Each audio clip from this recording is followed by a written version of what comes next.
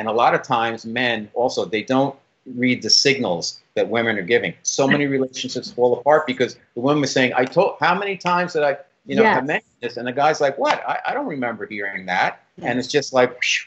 and that's a real problem because guys get blindsided and dumped all the time because of not paying attention. Did you push record?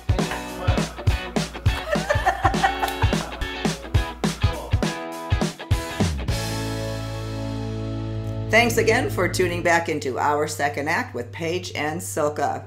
For your second act of life. How are you doing, Silke? I'm doing great. Uh, Paige, we are continuing our conversation with Robert Manni, the radio host, blogger, and author of The Guy's Guy Guide to Love. Thank you for staying over with us. My pleasure. Thank you, Silke. Thank you, Paige. It's great to be here. I hope I can uh, help out. I'm learning as uh, as we speak together.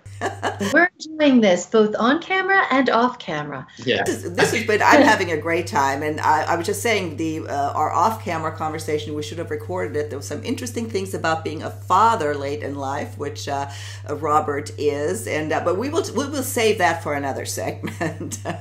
uh, today, we want to continue talking about uh, love and relationships, finding lo- love after 50, and how emotional, we hear this term, emo, uh, emotionally unavailable or available. These are, you know, terms we hear all the time. You can search them. Uh, you know, what is it and how, why is that so important to one understand and how does that affect our relationships after 50? So I will speak from my perspective, but I'm going to let Robert go first because he's been our guest. So I talk all the time. Go ahead, Robert. Well, as a guy over 50, I actually uh, fell in love and got married at over 50. I was on Match.com having the time of my life, and my wife went on uh, for a three-day free free weekend, and um, uh, she got me to break my rule of uh, meeting before having a phone call, and uh, and then we there was no looking back. And three dates into the into our dating, if you will, I said, "How do I be a good boyfriend? I've had so many." Girlfriends and it's, it's never worked out long long term the real one. And she said pay attention. And i said is that it? And she said that's it. And uh, that woke me up a lot because i realized how great women are at paying attention to the little things. They notice everything your mood and all that. And guys notice a lot about themselves. We're very ego driven and maybe that's because of culture and society. Yes. and, and and that's made us less i'm getting to the point here it's made, no, made this us- is good. Keep going. it's made us less emotionally available because we're we're seen to be uh, you know hunters. Uh, we you got a problem, we'll solve it. It's like the couple that goes home after they they're both working, and the wife wants to talk about, the woman wants to talk about. Here's what happened today, and the guy's like, "Well, try this, or try this, or try this," because if he's telling her his issues, he probably is open to so- solutions and that's not really what women want. They don't they they're smart enough to solve their own stuff. They just they want to be heard and they want to share. And men uh, now need to develop that skill. And the only way we're going to be able to do that is with women who love us and are willing to take the time to teach us and work with us. So I'm going to say something about take the time to teach and work because what I'm finding is women now are saying, I'm not going to teach. You have to figure it out and own your shit And learn how to do it because women have spent decades teaching and trying to like nurture and do this. That doesn't mean women won't hang in there with you because we're good at hanging in there. But but things are changing where women are saying you know what? We're owning what we do. It's time for you guys to own what you do and learn what is emotional health. We can model it for you. We can validate things for you. We can have conversations with you. We can maybe point you in directions but it has to be you have to step in and own. If you want to learn how to be emotionally available and what that's about and how you feel we'll hold the space for you so you feel open and not judged. Because i know judgment is a really big thing sometimes that women will come in and kind of uh, because for years when we're not getting what we need what do we do? We go to that place of of this. So i just wanted to address that, that Let Let me really let me say one women. thing. Let me say, and that is, you know, like you two are the experts. You know exactly what that means. Emo- you know, I, I uh, to somebody like treat me like the audience or people. You know, they've what does it mean to be emotionally unavailable? What is it even? How do I know I'm not? How, as a woman, do I tell a man, well, you're not emotionally unavailable? How does he take that? We, we don't say that. But do you know what I mean? I, I, I don't really even quite know what that means and what and how, how should I be or or not when it comes to being emotionally available or unavailable. I think that is that is the question. I think that's why a lot of guys are confused because they're not sure. They know that's a that's a buzzword, and they're like, I have to be emotionally available, but they're not sure what it is. Paige, what is it? What do we need Wait, to know? About? Are you asking me? Absolutely. Okay. All right. So I'll take my perspective. so, um, and you can jump in, Robert, at any time. So, so many times humans come from here, the brain, because it's easier, it's safer. And what I've noticed with men, like you had said, Robert, you know, they're problem solvers. They fix it. It's a logical component of A plus B equals C. Hey, we can figure that out. And for them, for men, what I notice is for them, that makes them feel good too. Look, I did this for you. I was able to do this for you. This is the way I'm showing love. I'm fixing a problem. This is this is my love language. And that's a whole other show about what's your love language. Um, it's coming from here and connecting to your heart center. You know, in the embryo, the heart and the head are together, and then slowly the head grows away from the heart. And I always believe that it misses each other, and we strengthen the head so so much that we forget that, hey, the ego and the head really do want to go back to connecting with the heart. So, you know, when I give that type of scenario, it's like, look, this is the emotions, these are the feelings. And sometimes, and you'll laugh, Robert, because I think you'll get this. I've got this sheet. I've given it to Silke before. We've used it before on shows. I have this sheet of Lord, there's so many faces of different emotions, and there's a label of what the face is, you know, betrayal, um, selfish, hurtful, whatever. I use that with my adults and specifically men all the time to say, look, here, this helps. And they go to me, oh my gosh, this is really helpful because they can't pull all of that out of their brain. So to see something and to have a word really, really helps because I think we said in our last segment, we didn't grow up in a culture where men were taught to connect to their inner knowing and into their emotions. So you don't know what you don't know. And you it's like it's like having a kindergarten and expecting a kindergarten to know what you know chemistry is. It's not going to happen. So you have to break it down. I used to be a fourth grade teacher so i break everything down into you know you know fourth grade yes, terms so i'll just kind of pause there for a moment and you can jump in, Robert. I, I, think you're absolutely correct. I don't think that's an easy thing for guys to kind of process because yeah, not. They're, they're used to using their brain. But I, will tell you, I, I learned personally. Uh, I realized I had an epiphany, and it was like the reason I haven't met the one is because I haven't made room for somebody else in my heart. And that, that, that started me working with my heart space. And as soon as I did that, I met my future wife, and the whole process took a year or two. But that was the key, realizing that I had to make room for somebody else. I think actually women sometimes in the dating world suffer from the same thing, where they don't make room for somebody else. Um, and and a, lo- a lot of guys don't even think about their heart space. So I guess the first step I would suggest for men is, you know, use your brain, but also use your gut, and then use your heart and say, how can I do the loving thing here? How can I be uh, present for my partner? And how can I how can I adapt and change? Because we ha- all have to adapt and change all the time, and it's not a bad thing. That doesn't mean I'm losing it, my identity. It actually means that I'm becoming a more dimensionalized person. I'm blossoming as a human being. It's a really good thing. So yeah. to be a real positive. It doesn't have to be oh, like who am I now? This that's not who I am. No, this is you, but this is a more expanded version of you. And that's what we all need to do in terms of, you know, raising our frequency, raising our vibration, and just getting to the next level. And I think way down low, deep down, men want to do that, but they don't know how to tap into that and get started. So maybe that's where women can help out. I'm not saying it's a, you know, women have to treat guys like the fourth grade teacher because we don't deserve, we need to be able to handle our own stuff. But I think to help get started, it's it's important. And a lot of times, men also they don't read the signals that women are giving. So many relationships fall apart because the woman is saying, "I told how many times did I you know, Yes. this, and the guy's like, "What? I, I don't remember hearing that." Yeah. And it's just like, phew. and that's a real problem because guys get blindsided and dumped all the time because of not paying attention. You know, Silke, this is a really good time from what Robert had just said to kind of um, let him know about the training we did on the chakra training, where we actually went through each each chakra, um, and with the heart center training, teach people how to do a very simple meditation to open your heart center. I mean, my husband and I do it every morning, sitting outside on the yoga mat, and he'll come out and go, "Okay, I'm ready for my heart meditation now." So we just go outside, you know, on the yoga mat. But we did a training. It's not easy. If you're a guy, that's really that's one thing. That's been the biggest challenge I've had is like, how do I open my heart space? I've asked every metaphysical teacher uh, on my show to like, ex, you know, help me with that. But ultimately, I have to do the work, and I find it's a challenge to, to do it on a regular basis. So I'd love to learn that.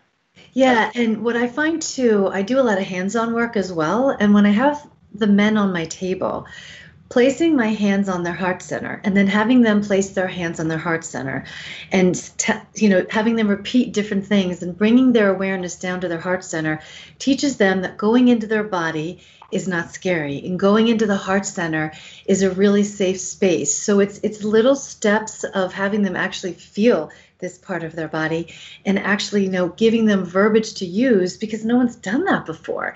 So you know small small steps for them to practice where they can feel successful. And the great thing is is they'll go home and they'll say to their significant others i'm doing this homework tonight that paige gave me and this is what i'm doing. And their significant others are like "Oh, this is fantastic. Then they come back and go my wife thinks this is fantastic and they want to do more.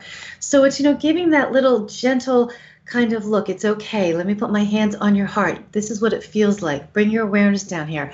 What's it sense? In a very small you know way because you never want to rip the band-aid off because all that does is rip a band-aid off and bleed. So yeah. You know, uh, just from a you know uh, a practical perspective, that that stuff is terrific.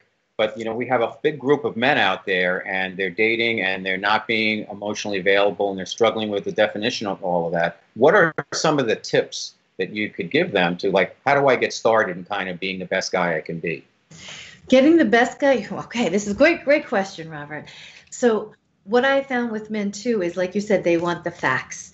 So, first of all, your wife said it to you. You know, be patient, um, pay attention.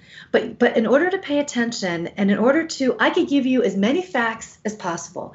But if you're not connected to yourself, they have to understand what does that mean first. How do you connect to your inner knowing and yourself? Because a lot of times men go from the outside or they're up here. So you have to kind of come down to this place first and foremost to say, okay, what what's going on in here? What do I feel? Is it anger first? Is it betrayal? Is it whatever it might be? Like how do I get into myself first? They and, and a lot of times they have to take the step to work with somebody else. So I can give all the facts possible, but if you're just doing the facts, but you're doing it externally outside of yourself and you're not learning about who you are and what this is and what's going on and what's been modeled to you growing up and how you did attach or how you didn't attach, facts don't mean anything but facts.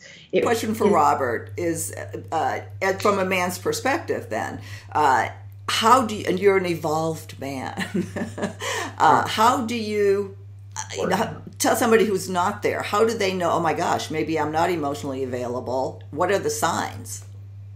Oh, that's a great question. Um, I think this, the number one sign is if their partner has a uh, underlying sense of resentment. That means they're not being present. And uh, and as Paige, you said earlier, like we're not here. Women today aren't here to kind of teach us. Well, men have to be there, present, to really start listening and paying attention. Like yesterday, my wife had a uh, uh, wisdom tooth, uh, not, well, not a wisdom tooth, root canal. And, uh, Oh, and I, I'm busy with other stuff, and it's the worst. And she went to a to a uh, holistic person and a, a doctor and every dentist, and it was like uh, I thought. Normally, I would like ask her how, how it is afterwards. I made sure I called her in the morning. I made sure I checked in with her before she went. I made sure I checked in with her after when she got home. I called her this morning to ask her how she's feeling, and uh, I could sense how appreciative and Yeah. surprised, pleasantly surprised she was that I was taking the time to do the little things. So I think for men is mirror your partner, do the little things, be present, pay attention, and that's not a bad. You're not you're not turning into a woman. You're just being a better guy, a better human being. Because a lot of guys they don't teach they they don't treat their women, their partner, like they, they treat their best friend. And it's ridiculous because your partner is going to be your best friend, your lover, your life partner, your soulmate, etc. You got to really do go the extra mile. And I have to remind myself all the time because you know sometimes you don't you don't get exactly what you want when you want it, and uh, it's easy to just shut down if you're a guy. I'm like I don't want to hear anymore. I do it myself, but we have to just keep working on it every day. How's she doing? What can I do to help her? What can I do to you know tune in and tune into how, how her life is going and what's happening with her right now. How can I be better? I think that's that's the start. Once you start doing it, I think it becomes natural. It's just a matter of taking that first step and saying, "How can I be better?" And just the little steps are, are, are going to put you on the right path. And a good question to ask your significant other is how can I help you right now, honey? What do you need right now? Because that says, oh, you want to know, you know, what I need. You also brought up something really important about men are better to their best friends than their significant other. I've also found that a man will, uh, sorry, not a man, a man will leave they will go and they will give everything to their career. They will pay attention. They will see the cues at their job. They will do anything they can that the job needs. And then when they come home, they don't give the same amount of attention and time to the person who's loving them, who's there building a life for them. So the balance of you know their career whether it's identity or whatever it is or that's what they know how to do better is really out of balance Yes, that's a great point. I agree 100%. I just wanted to say because I thought that kind of dovetailed, you know, into what you were saying. Yeah. This is a great conversation. I love it. Great, Robert great Altman. conversation. I'd like to. Uh, we're getting starting to get to the end here again, and let's close it out with, uh, you know, on on the man's behalf. What do women need to know? How can we help in that regard? uh, You know, be a better woman to a man, so we can be better together. That's a great question. Um, I think you know you have to, uh, in terms of communicating, where sometimes the guy has expressed everything I mentioned this alluded to earlier about everything he feels about a subject. At a certain point, you have to ask yourself, do I need to keep pressing him, or is that all there is? And with the risk of saying like sometimes guys are pretty simple, sometimes we are. We put it out there, and it's like I don't know. I, that's all I got. I don't have any magic dust on, on this. This is it, and uh, you have to realize that. Other th- things are you may think that you're being very clear with a man and they might not be picking up the signals because they're not wired to be as sensitive as you are right now and they need to work on that. But until they get there you might have to be just a little bit more uh, overt in terms of something that's bothering you or something you want to talk about or something that's an issue or something that just needs to be discussed. So that and then also be present and see and see where a lot of guys have mental issues now. Find out what's going on with them. Um, what, what are their like hot buttons and stress points in terms of their day to day is it work? Is it their bank account? Is it their health? Or is it the relationships? Is it family? Whatever it is and see if you can be there for them to help uh, you know help guide them through that. Yeah, I know it sounds like extra work that you're coddling the guy, but it's not really that. It's about being a good partner and realizing that guys are guys, and we're you know we need to we need to do better. But I, I really think that women have to make a couple of adjustments to say, hey, if I want to be with this guy, let me work with him a little bit and see see how he does. If we all, all knew we were all perfect, all the guys knew everything and how to be, you know, maybe that wouldn't be that much fun or that challenging. Sometimes we need a little challenge, but um, this is how it is, and uh, guys guys need some help. So either going to say, "I don't need you," or say, "You know what? I think he. I think this is a guy that has potential and can make some positive moves." And I think any man can, as long as he puts his mind and, as Paige says, puts his heart to it and into it. I love it. Paige, anything else for you?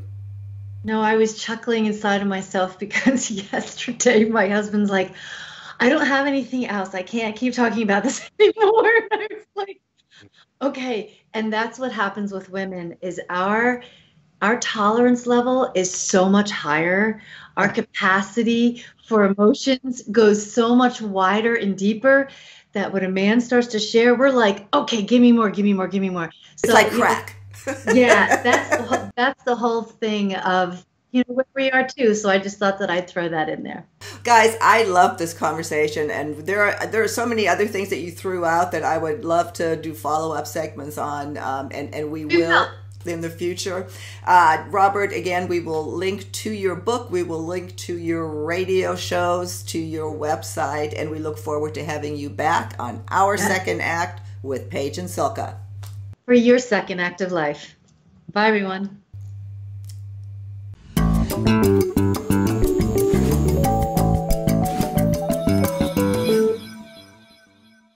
If you haven't already done so, please be sure to subscribe to our channel. The button is right over here. Just click on through to YouTube, and when you see that little bell next to the subscribe button, hit that too. You'll be notified every time we post a new video. See you next time.